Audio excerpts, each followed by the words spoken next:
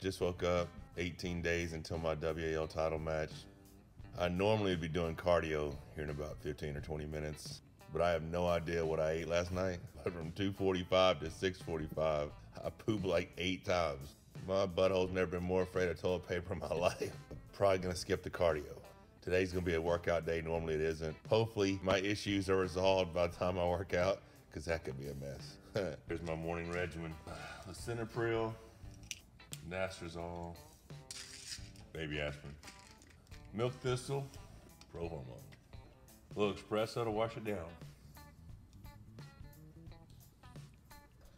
So obviously, uh, this isn't the best nutrition, but we bought a cake the other day, and yesterday was our scheduled cheat day, and this is Rebecca's weakness, so I figured I might as well finish the cake.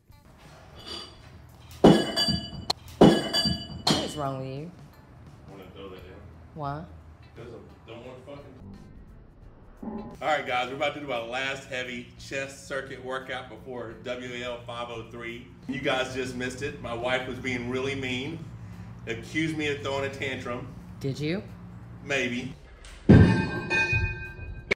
But she started it I did not.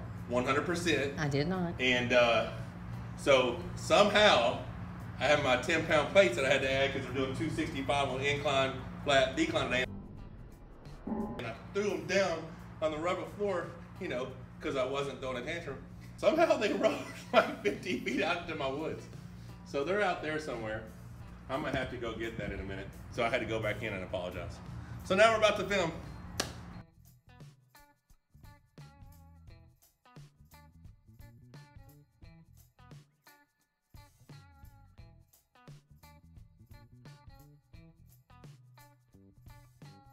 So tell me about your workout.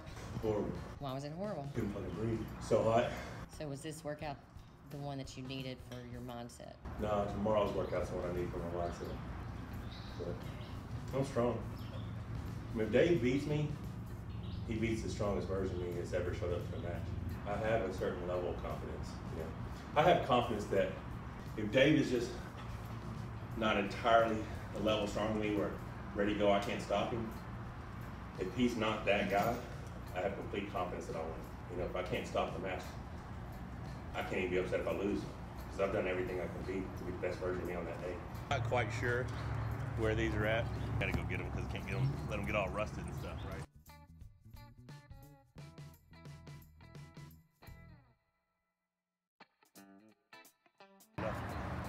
Got one. Can't leave the weight out there. I gotta go get it. Um, the lesson moral of this story: if you're gonna throw your weights, throw them flat so they don't roll. That's probably not the real moral, but that's the one that I'm going with.